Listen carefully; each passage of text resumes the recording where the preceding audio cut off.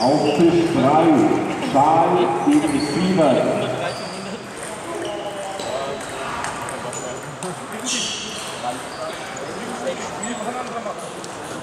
Stimmt. 4, 5, 4, 5.